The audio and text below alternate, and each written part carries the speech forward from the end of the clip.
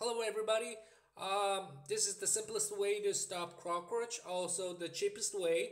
Here we have a soap, and uh, we we want to stuff in.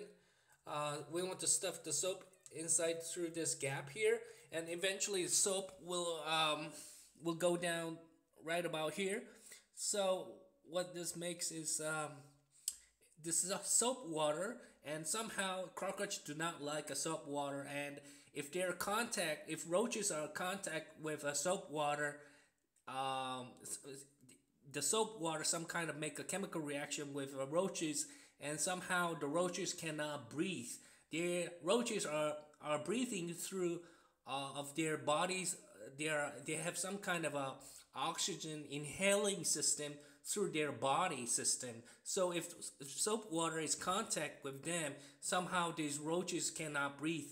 I have I read this with uh, Wikipedia and all over the internet. So this is a this is a a fact, a complete a fact about. I'm not bluffing. I'm not uh, lying or joking about this. This is something real. So if you have uh, some a roach uh, pest roach problem, uh, use a simple soap and just put it inside through this gap and that will stop the roaches for a very long period of time. Thank you for watching the video guys.